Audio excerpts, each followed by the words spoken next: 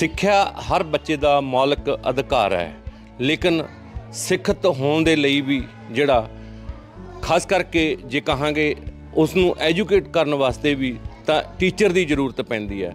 ਲੇਕਿਨ ਅੱਜ ਤੁਹਾਨੂੰ ਉਸ ਟੀਚਰ ਦੇ ਨਾਲ ਮਿਲਾਉਂਦੇ ਆ ਜਿਹੜੇ ਕਿ ਬੱਚਿਆਂ ਦੀ ਸੇਵਾ ਕਰਦੇ ਨੇ।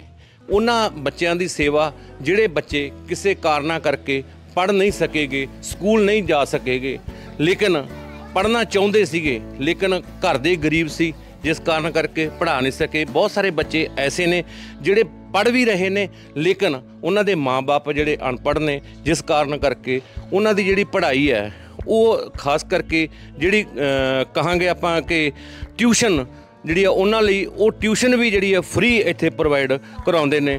ਤਾਂ ਇਹ ਬੱਚੇ ਉਹ ਬੱਚੇ ਨੇ, ਜਿਨ੍ਹਾਂ ਬੱਚਿਆਂ ਨੇ ਕਦੇ ਇਹ ਭਵਿੱਖ ਦੇ ਵਿੱਚ ਕੁਝ ਬਣਨਾ ਹੈ।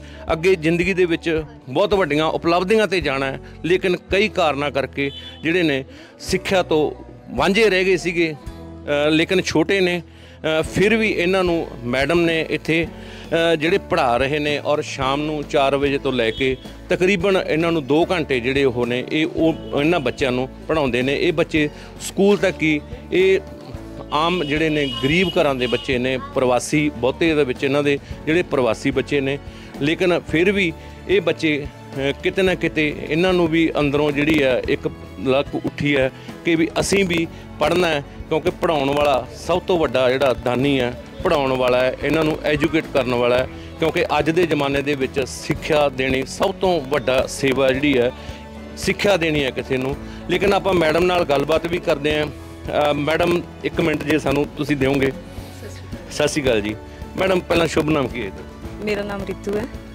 ਰਿਤੂ ਮੈਡਮ ਤੁਸੀਂ ਇਹਨਾਂ ਬੱਚਿਆਂ ਨੂੰ ਪੜ੍ਹਾ ਰਹੇ ਹੋ। ਇਹ ਬੱਚੇ ਕਿੰਨੇ ਕੁ ਬੱਚੇ ਨੇ ਔਰ ਕੌਣ ਬੱਚੇ ਨੇ ਇਹ ਜਿਨ੍ਹਾਂ ਨੂੰ ਤੁਸੀਂ ਪੜ੍ਹਾ ਰਹੇ ਹੋ? ਕਿੱਥੋਂ ਦੇ ਬੱਚੇ ਨੇ? ਹਾਂਜੀ ਇਹ ਬੱਚੇ ਨੇ ਜਿਹੜੇ ਕਿ ਇਹ ਪ੍ਰਵਾਸੀ ਮਜ਼ਦੂਰਾਂ ਦੇ ਬੱਚੇ ਨੇ। ਕਈ ਯੂਪੀ ਬਿਹਾਰ ਤੋਂ ਆਏ ਹੋਏ ਬੱਚੇ ਹੁੰਦੇ ਆ ਉਹਨਾਂ ਦੇ ਪੇਰੈਂਟਸ ਆਏ ਹੋਏ ਨੇ ਪ੍ਰਵਾਸੀ ਮਜ਼ਦੂਰ ਨੇ। ਉਹਨਾਂ ਪੇਰੈਂਟਸ ਦੇ ਬੱਚੇ ਮੇਰੇ ਕੋਲੇ ਆ ਕੇ ਪੜ ਰਹੇ ਨੇ। ਕਿੰਨੇ ਚਿਰ ਤੋਂ ਤੁਹਾਡੇ ਕੋਲੇ ਇਹ ਇੱਥੇ ਪੜ੍ਹ ਰਹੇ ਨੇ ਤੇ ਹੁਣ ਤੱਕ ਕੀ ਕੀ ਕੁਝ ਤੁਸੀਂ ਇਹਨਾਂ ਨੂੰ ਜਿਹੜਾ ਪੜ੍ਹਾਇਆ, ਕਿਸ ਕਾਬਲ, ਕਿੱਥੋਂ ਤੱਕ ਤੁਸੀਂ ਇਹਨਾਂ ਨੂੰ ਕਾਬਲ ਬਣਾਇਆ? ਮੇਰੇ ਕੋਲੇ ਇਹਨਾਂ ਬੱਚਿਆਂ ਨੂੰ ਸਵਾ ਸਾਲ ਤੋਂ ਡੇਢ ਸਾਲ ਹੋ ਚੁੱਕਿਆ ਪੜਦਿਆਂ ਨੂੰ। ਮੇਰੇ ਕੋਲੇ ਪਹਿਲਾਂ 2 4 6 ਕਰਕੇ ਹੁਣ ਮੇਰੇ ਕੋਲੇ 47 ਬੱਚੇ ਆਂਦੇ ਆ। ਟੋਟਲ 47 ਬੱਚੇ ਨੇ ਤੇ ਇਹ ਬੱਚਿਆਂ ਦੇ ਵਿੱਚ ਬਹੁਤ ਬੱਚੇ ਇਹੋ ਜਿਹੇ ਨੇ ਜਿਹੜੇ ਕਦੀ ਸਕੂਲ ਨਹੀਂ ਗਏ। ਸਕੂਲ ਦਾ ਨਾਮ ਵੀ ਨਹੀਂ ਸੁਣਿਆ ਉਹਨਾਂ ਨੇ ਤੇ ਉਹ ਬੱਚਿਆਂ ਨੂੰ ਹੁਣ ਮੈਂ ਹਿੰਦੀ, ਇੰਗਲਿਸ਼, ਪੰਜਾਬੀ ਤਿੰਨੋਂ ਲੈਂਗੁਏਜ ਉਹ ਪੜ੍ਹ ਲੈਂਦੇ ਆ ਮੈਥ ਦਾ ਵੀ ਬਹੁਤ ਕੰਮ ਕਰ ਲੈਂਦੇ ਨੇ ਤੇ ਉਹਨਾਂ ਦੇ ਵਿੱਚ ਇਹ ਬੱਚੇ ਆ ਜਿਹੜੇ ਇੱਧਰ ਬੈਠੇ ਨੇ, ਝੁੱਗੀਆਂ ਦੇ ਵਿੱਚੋਂ ਆਏ ਹੋਏ ਨੇ ਬੱਚੇ। ਇਹ ਬੱਚੇ ਇਹਨਾਂ ਦੀਆਂ ਮਾਵਾਂ ਨੇ ਖੇਤਾਂ ਦੇ ਵਿੱਚ ਕੰਮ ਕਰਦੀਆਂ ਨੇ ਫਾਦਰ ਇਹਨਾਂ ਦੇ ਕਿਸੇ ਕਈਆਂ ਬੱਚੀਆਂ ਦੇ ਹੈ ਨਹੀਂਗੇ ਕਿਸੇ ਬੱਚੀਆਂ ਦੀ ਮਦਰ ਨਹੀਂ ਹੈਗੀ। ਉਹ ਬੱਚੇ ਮੇਰੇ ਕੋਲੇ ਪੜਨ ਵਾਸਤੇ ਆਉਂਦੇ ਤੇ ਇਹਨਾਂ ਬੱਚਿਆਂ ਨੂੰ ਮੈਂ ਸਵਾ ਸਾਲ ਹੋ ਗਿਆ ਪੜਾਉਂਦਿਆਂ ਤੱਕ। ਹੁਣ ਮੇਰੀ ਜਿੰਨੀ ਕੋਸ਼ਿਸ਼ ਸੀਗੀ ਮੈਂ ਵਧੀਆ ਕੀਤੀ ਤੇ ਉਸ ਦੇ ਨਾਲ ਇਹ ਬੱਚੇ ਹੁਣ ਵਧੀਆ ਹਿੰਦੀ ਵੀ ਪੜ ਲੈਂਦੇ ਆ ਇੰਗਲਿਸ਼ ਵੀ ਪੜ ਲੈਂਦੇ ਇਵਨ ਪੰਜਾਬੀ ਵੀ। ਮੈਂ ਕਹਿੰਨੀ ਆ ਕਿ ਸੈਕਿੰਡ ਥਰਡ ਦੇ ਬੱਚੇ ਗਵਰਨਮੈਂਟ ਸਕੂਲ ਦੇ ਇੰਨੇ ਵਧੀਆ ਨਹੀਂ ਪੜ ਸਕਦੇ ਹੋਣਗੇ ਜਿੰਨੇ ਬੱਚੇ ਬਹੁਤ ਵਧੀਆ ਪੜਨ ਲੱਗ ਗਏ। ਲੱਗਦਾ ਜੀ ਇਹ ਵੀ ਤੁਹਾਡੇ ਵੱਲੋਂ ਜਿੰਨੀ ਕਿੰਨਾ ਬੱਚਿਆਂ ਨੂੰ ਤਿਆਰੀ ਕਰਾਈ ਗਈ ਹੈ ਕਿ ਇਸ ਤੋਂ ਬਾਅਦ ਇਹ ਬੱਚੇ ਜਿਹੜੇ ਨੇ ਸਰਕਾਰੀ ਸਕੂਲਾਂ ਦੇ ਵਿੱਚ ਚਲੇ ਜਾਣਗੇ? ਜੀ ਹਾਂਜੀ ਮੈਂ 6 ਬੱਚਿਆਂ ਦੀ ਐਡਮਿਸ਼ਨ ਹੁਣ ਤੱਕ ਕਰਵਾ ਚੁੱਕੀ ਸਕੂਲ ਦੇ ਵਿੱਚ।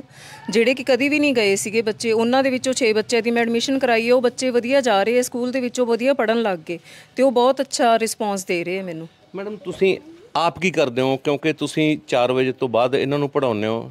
ਤੁਸੀਂ ਆਪ ਕੀ ਕਰਦੇ ਹੋ? ਤੁਹਾਨੂੰ ਕਿਵੇਂ ਤੁਹਾਡੇ ਦਿਮਾਗ ਦੇ ਵਿੱਚ ਆਇਆ ਕਿ ਵੀ ਇਹਨਾਂ ਬੱਚਿਆਂ ਨੂੰ ਪੜਾਉਣਾ ਚਾਹੀਦਾ? ਪਹਿਲਾਂ ਮੈਂ ਇੱਕ ਗੱਲ ਕਲੀਅਰ ਕਰੂੰਗੀ ਕਿ 4 ਵਜੇ ਮੈਂ ਇਹਨਾਂ ਨੂੰ ਈਵਨਿੰਗ ਟਿਊਸ਼ਨ ਦਿੰਨੀ ਆ ਤੇ ਮਾਰਨਿੰਗ ਮੈਂ ਇਹਨਾਂ ਨੂੰ 10 ਵਜੇ ਪੜ੍ਹਾਉਂਦੀ ਆ ਜਿਹੜੇ ਬੱਚੇ ਬਿਲਕੁਲ ਸਕੂਲ ਨਹੀਂ ਜਾਂਦੇ ਉਹ 10 ਵਜੇ ਆਉਂਦੇ ਆ। ਜਿਹੜੇ ਬੱਚੇ ਸਕੂਲ ਜਾਂਦੇ ਆ ਤੇ ਨਹੀਂ ਜਾਂਦੇ ਉਹ ਦੋਨੇ 4:30 4 ਵਜੇ ਆ ਜਾਂਦੇ ਆ। ਬੱਚੇ ਦੋ ਟਾਈਮ ਮੇਰੇ ਕੋਲੇ ਪੜ੍ਹਦੇ ਆ। ਉਹਨਾਂ ਦੇ ਵਿੱਚ ਇਹ ਬੱਚਿਆਂ ਨੂੰ ਮੈਂ ਸਿਖਾ ਰਹੀ ਆ ਹੁਣ ਪੜ੍ਹਨਾ ਦੇ ਵਿੱਚ ਇੰਗਲਿਸ਼ ਪੰਜਾਬੀ ਕਰ ਲਿਆ। ਇਹਨਾਂ ਬੱਚਿਆਂ ਨੇ ਸਕੂਲ ਨਹੀਂ ਗਏ ਸੀ ਤੇ ਕਰਨ ਲੱਗ ਗਏ ਕੰਮ ਵਧੀਆ ਕਰ ਰਹੇ ਨੇ। ਤੁਸੀਂ ਖੁਦ ਕੀ ਕਰਦੇ ਹੋ? ਮੈਂ ਸਵਾਲ ਹਾਂਜੀ ਮੈਂ ਐਕਚੁਅਲ ਚ ਉਹਨਾਂ ਦੱਸਣ ਚ ਭੁੱਲ ਗਈ। ਮੈਂ ਹਾਊਸ ਵਾਈਫ ਹਾਂ ਜੀ। ਮੈਂ ਕੋਈ ਵੀ ਜੌਬ ਨਹੀਂ ਕਰਦੀ ਘਰ ਸੰਭਾਲਦੀ ਹਾਂ ਹੋਮ ਮੇਕਰ ਕਹਿ ਸਕਦੇ ਹਾਂ। ਮੈਂ ਆਪਦੇ ਘਰ ਨੂੰ ਸੰਭਾਲਦੀ ਹਾਂ ਜੀ। ਤੁਸੀਂ ਪੜ੍ਹੇ ਲਿਖੇ ਹੋ। ਤੁਹਾਨੂੰ ਕਿਵੇਂ ਅਹ, ਤੁਹਾਡੇ ਦਿਮਾਗ ਦੇ ਵਿੱਚ ਆਇਆ ਕਿ ਵੀ ਆਪਾਂ ਨੂੰ ਚਲੋ ਫ੍ਰੀ ਟਾਈਮ ਦੇ ਵਿੱਚ ਲੇਡੀਜ਼ ਜ਼ਿਆਦਾਤਰ ਹੁੰਦੇ ਆ ਵੀ ਕਿੱਟੀ ਪਾਰਟੀਆਂ ਦੇ ਚਲੀਆਂ ਗਈਆਂ ਜਾਂ ਹੋਰ ਕੋਈ ਸੇਵਾ ਕਰ ਲਈ ਜਾਂ ਕੋਈ ਕਿਸੇ ਨੂੰ ਹੁੰਦਾ ਵੀ ਕੋਈ ਕਿਸੇ ਨੇ ਡੌਗ ਪਾਲ ਲਏ ਕਿਸੇ ਨੇ ਕੋਈ ਗਾਵਾਂ ਨੂੰ ਪੱਠੇ ਪਾਤੇ। ਤਾਂ ਲੇਕਿਨ ਤੁਹਾਨੂੰ ਇਹ ਕਿਵੇਂ ਆਇਆ ਕਿ ਵੀ ਸਾਨੂੰ ਇਹ ਜਿਹੜਾ ਬੱਚਿਆਂ ਦਾ ਅਹ, ਪੜ੍ਹਾਈ ਵੱਲ ਜਾਣਾ ਚਾਹੀਦਾ? ਮੇਰਾ ਇੱਕ ਤਾਂ ਇਹ ਜੀ ਮੈਂ ਫ੍ਰੀ ਰਹਿੰਦੀ ਹਾਂ ਬਟ ਅੱਜ ਤੱਕ ਮੈਂ ਕਦੀ ਕੋਈ ਕਿੱਟੀ ਪਾਰਟੀ ਜੁਆਇਨ ਨਹੀਂ ਕੀਤੀ। ਤੇ ਮੇਰੇ ਫਾਦਰ ਇਨ ਲਾ ਉਹ ਸਰਦਾਰ ਮੱਖਣ ਸਿੰਘ ਜੀ ਐਮਐਲਏ ਰਹੇ ਨੇ ਦੋ ਵਾਰ ਤੇ ਮੇਰੇ ਹਸਬੰਡ ਵੀ, ਉਹ ਵੀ ਸਟੇਟ ਦੇ ਚੇਅਰਮੈਨ ਰਹੇ ਨੇ ਤੇ ਰੀਸੈਂਟਲੀ ਉਹਨਾਂ ਨੇ ਇਲੈਕਸ਼ਨ ਵੀ ਲੜੀ ਸੀਗੀ ਤੇ ਮੈਂ ਕਿੱਟੀ ਪਾਰਟੀਜ਼ ਜਾਂ ਸੋਸ਼ਲ ਮੀਡੀਆ ਤੋਂ ਬਹੁਤ ਦੂਰ ਰਹੀ ਹਾਂ। ਈਵਨ ਸਵਾ ਸਾਲ, ਡੇਢ ਸਾਲ ਹੋ ਗਏ ਇਹਨਾਂ ਬੱਚਿਆਂ ਨੂੰ ਪੜ੍ਹਾਉਂਦੇ ਮੈਂ ਕਦੀ ਕੋਈ ਵੀਡੀਓ ਨਹੀਂ ਇਹਨਾਂ ਦੀ ਅਪਲੋਡ ਕੀਤੀ, ਨਾ ਹੀ ਕਦੀ ਬਣਾਈ ਸੀ। ਔਰ ਜਿੱਥੋਂ ਤੱਕ ਹਾਊਸਵਾਈਫ ਆ, ਮੈਨੂੰ ਇਹਨਾਂ ਦਾ ਬੱਚਿਆਂ ਦਾ ਐ ਹੋਇਆ ਸੀ ਕਿ ਸਾਹਮਣੇ ਹੀ ਇੱਥੇ ਘਰ ਦੇ ਵਿੱਚ ਬੱਚੇ ਰਹਿੰਦੇ ਆ, ਪ੍ਰਵਾਸੀ ਮਜ਼ਦੂਰਾਂ ਦੇ ਫੈਮਲੀਆਂ ਰਹਿੰਦੀਆਂ ਨੇ। ਉਹਨਾਂ ਦੇ ਕੋਲੇ ਮੈਂ ਗਈ ਤੇ ਇੱਕ ਦਿਨ ਬੱਚੀ ਵਿਚਾਰੀ ਛੋਟੀ ਜੀ ਇਸ ਬੱਚੀ ਦੀ ਸਿਸਟਰ ਸੀਗੀ। ਤੇ ਉਹ ਕੰਮ ਕਰ ਰਹੀ ਸੀ, ਸਰਦੀਆਂ ਦੇ ਵਿੱਚ ਨਲਕੇ ਤੇ ਬੈਠ ਕੇ ਕੱਪੜੇ ਧੋ ਰਹੀ ਸੀ। ਮੈਂ ਕਿਹਾ, ਬੇਟੇ, ਤੂੰ ਆਹ ਕੰਮ ਕਰੀ ਜਾਂਦੀ ਹੈ ਸਕੂਲ ਕਿਉਂ ਨਹੀਂ ਗਈ? ਤੇ ਉਹਨੇ ਰੋਣਾ ਸ਼ੁਰੂ ਕਰਤਾ। ਮੈਂ ਕਿਹਾ, ਬੇਟੇ, ਕੀ ਗੱਲ, ਕੀ ਹੋਈ ਹੈ ਤੂੰ ਗੱਲ ਦੱਸ। ਉਹ ਕਹਿੰਦੀ, ਆਂਟੀ, ਮੈਂ ਕभी ਸਕੂਲ ਨਹੀਂ ਗਈ। ਤੇ ਮੈਂ ਕਿਹਾ, ਤੂੰ ਬੇਟੇ ਐਂ ਕਰ ਕਿ ਮੇਰੇ ਕੋਲੇ ਪੜਨ ਵਾਸਤੇ ਆਇਆ ਕਰ। ਉਹ ਕਹਿੰਦੀ ਕਿ, ਆਂਟੀ, ਆਪ ਪੜਾਓਗੇ ਮੈਂ ਕਿਹਾ, ਹਾਂ। ਕਹਿੰਦੀ, ਮੇਰੇ ਪਾਸ ਤਾਂ ਕੁਝ ਹੈ ਵੀ ਨਹੀਂ, ਕਾਪੀ ਵੀ ਨਹੀਂ। ਮੈਂ ਕਿਹਾ, ਬੇਟੇ, ਕਾਪੀਆਂ ਦੀ ਕੋਈ ਫਿਕਰ ਨਹੀਂ, ਕਾਪੀਆਂ ਤੈਨੂੰ ਮੈਂ ਦਊਂਗੀ ਤੇ ਤੂੰ ਮੇਰੇ ਕੋਲੇ ਪੜਨ ਵਾਸਤੇ ਆ। ਉਹ ਬੱਚੀ ਆਈ ਪੜਨ ਵਾਸਤੇ, ਉਹਨੇ ਨਾਲ ਹੀ ਆਪਦੀ ਸਿਸਟਰ ਨੂੰ ਲੈ ਕੇ ਆਈ ਤੇ ਫਿਰ ਮੈਨੂੰ ਕਹਿੰਦੀ, ਆਂਟੀ, ਹਮ ਦੋਨੋਂ ਬਹਿਨੇ ਆएंगे ਆਪ ਪੜਾਓਗੇ ਮੈਂ ਕਿਹਾ, ਹਾਂ। ਫਿਰ ਉਸ ਦਿਨ ਤੋਂ ਅੱਗੇ ਉਹ ਹੋਰ ਬੱਚਿਆਂ ਨੂੰ ਲੈ ਕੇ ਆਈ। ਫਿਰ ਕਰਦੇ ਕਰਦੇ 6 ਬੱਚੇ ਹੋ ਗਏ ਤੇ ਉਹਨਾਂ ਬੱਚਿਆਂ ਨੂੰ ਮੈਂ ਸਟਾਰਟਿੰਗ ਹੀ ਪੰਜਾਬੀ ਤੋਂ ਕੀਤੀ ਸੀ।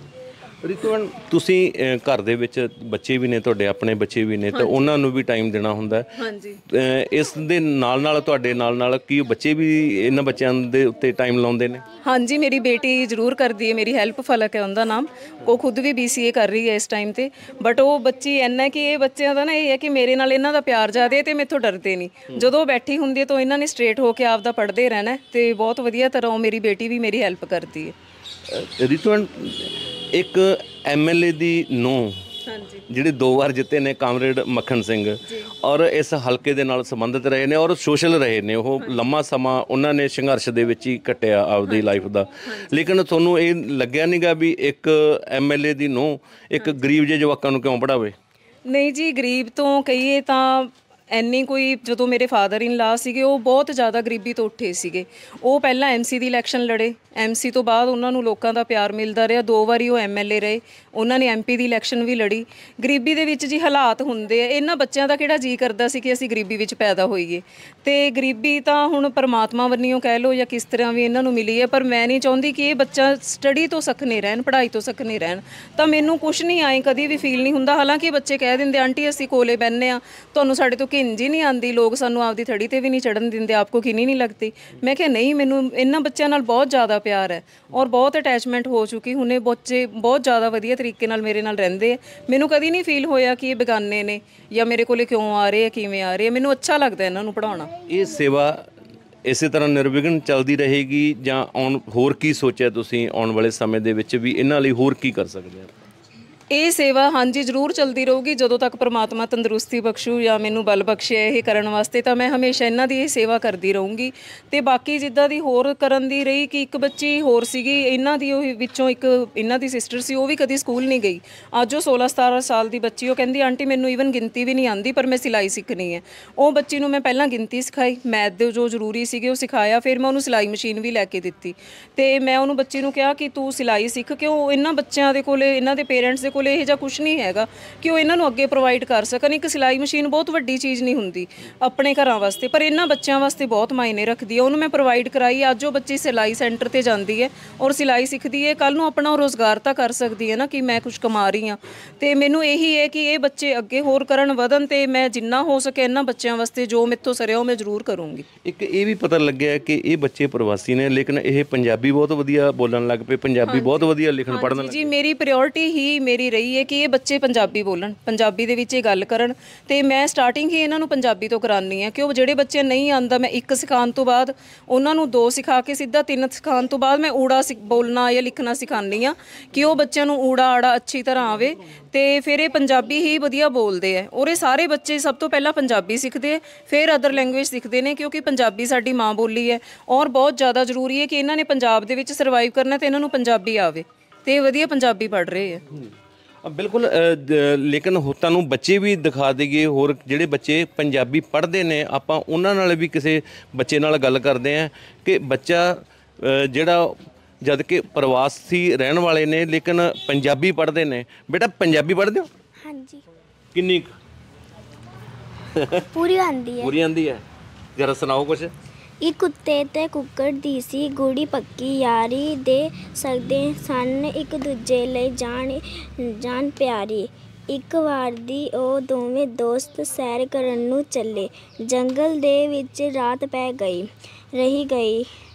ਕਲਮ ਕੱਲੇ, ਰਾਤ ਪਈ ਤੇ ਕੱਲ ਕਰ ਨੂੰ ਮੁੜਨਾ ਹੈ ਸੀ।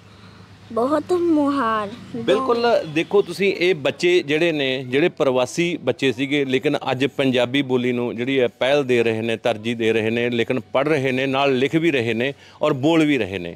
ਔਰ ਇਹ ਸਭ ਤੋਂ ਵੱਡੀ ਚੀਜ਼ ਹੈ ਕਿ ਮੈਡਮ ਰੀਤੂ, ਕਿਉਂਕਿ ਰੀਤੂ ਮੈਡਮ ਨੇ ਇਹਨਾਂ ਨੂੰ ਸਿਖਾਇਆ, ਇਹਨਾਂ ਬੱਚਿਆਂ ਨੂੰ ਪੜਾਇਆ ਔਰ ਇਹਨਾਂ ਨੂੰ ਇਸ ਲਾਇਕ ਬਣਾਇਆ ਕਿ ਇਹ ਇੱਥੋਂ ਤਿਆਰੀ ਕਰਕੇ ਵੱਡੇ ਸਕੂਲਾਂ ਦੇ ਵਿੱਚ ਜਾਣ, ਸਰਕਾਰੀ ਸਕੂਲਾਂ ਦੇ ਵਿੱਚ ਭਾਵੇਂ ਐਜੂਕੇਸ਼ਨ ਨੂੰ ਸਾਡੀ ਸਰਕਾਰ ਜਿਹੜੀ ਹੈ, ਖਾਸ ਕਰਕੇ ਪੰਜਾਬ ਦੀ ਪਹਿਲ ਦੇ ਰਹੀ ਹੈ ਕਿ ਸਭ ਸਭ ਬੱਚਿਆਂ ਦੇ ਲਈ ਜਿਹੜੀ ਹੈ ਐਜੂਕੇਸ਼ਨ ਫ੍ਰੀ ਉਹ ਬਹੁਤ ਜ਼ਰੂਰੀ ਹੈ। ਲੇਕਿਨ ਇਹਨਾਂ ਦੀ ਤਿਆਰੀ ਕਰਾ ਕੇ ਇਹਨਾਂ ਬੱਚਿਆਂ ਨੂੰ ਉਹਨਾਂ ਸਕੂਲਾਂ ਦੇ ਵਿੱਚ ਭੇਜਣਾ, ਇਹ ਰਿਤੂ ਮੈਡਮ ਦਾ ਜਿਹੜਾ ਸੁਪਨਾ ਹੈ ਕਿ ਵੀ ਅਸੀਂ ਘੱਟੋ ਘੱਟ ਆਪਣੇ ਆਲੇ ਦੁਆਲੇ ਜੋ ਬੱਚੇ ਗਰੀਬ ਰਹਿੰਦੇ ਨੇ, ਅਸੀਂ ਉਹਨਾਂ ਨੂੰ ਪੜ੍ਹਾਈਏ ਔਰ ਉਹਨਾਂ ਨੂੰ ਜਿਹੜਾ ਸਕੂਲਾਂ ਤੱਕ ਲਿਜਾ ਸਕੀਏ ਤਾਂ ਜੋ ਇਹ ਬੱਚੇ ਵੀ ਜ਼ਿੰਦਗੀ ਦੇ ਵਿੱਚ ਅੱਗੇ ਵੱਧ ਸਕਣ। ਪੜ੍ਹ ਲਿਖ ਕੇ ਇਹ ਵੀ ਕੁਝ ਜਿਹੜਾ ਆਪਣੇ ਆ ਜੋ ਇਹਨਾਂ ਦੀਆਂ ਸੋਚੀਆਂ ਨੇ, ਜੋ ਦਿਮਾਗ ਦੇ ਵਿੱਚ ਇਹਨਾਂ ਦੇ ਹੈ ਕਿ ਅਸੀਂ ਵੀ ਅੱਗੇ ਜਾ ਕੇ ਜ਼ਿੰਦਗੀ 'ਚ ਕੁਝ ਬਣਨਾ, ਉਹ ਬਣ ਸਕਣ। ਲੇਕਿਨ ਇਹਨਾਂ ਨੇ ਇਹ ਵੀ ਕਿਹਾ ਕਿ ਹਰ ਇੱਕ ਨੂੰ ਜਿਹੜਾ ਥੋੜਾ ਮੋਟਾ, ਇਸ ਦੇ ਵਿੱਚ ਜ਼ਰੂਰ ਆਪਦਾ ਫਰਜ਼ ਨਿਭਾਉਣਾ ਚਾਹੀਦਾ ਹੈ। ਜਿੱਥੇ ਵੀ ਤੁਹਾਨੂੰ ਕੋਈ ਗਰੀਬ ਬੱਚਾ ਮਿਲਦਾ, ਤਾਂ ਉਹਨਾਂ ਨੂੰ ਨਾਲ ਜ਼ਰੂਰ ਐਜੂਕੇਟ ਕਰੋ, ਤਾਂ ਕਿ ਸਮਾਜ ਜੇ ਪੜ੍ਹਿਆ ਲਿਖਿਆ ਹੋਊਗਾ, ਤਾਂ ਸਾਡਾ ਦੇਸ਼ ਪੜ੍ਹਿਆ ਲਿਖਿਆ ਹੋਊਗਾ, ਸਾਡਾ ਪੰਜਾਬ ਪੜ੍ਹਿਆ ਲਿਖਿਆ ਹੋਊਗਾ। ਕੈਮਰਾਮੈਨ ਕਰਨਵੀਰ ਧਾਲੀਵਾਲ ਦੇ ਨਾਲ ਕੁਲਬੀਰ ਬੀਰਾ, ਜੀ ਮੀਡੀਆ।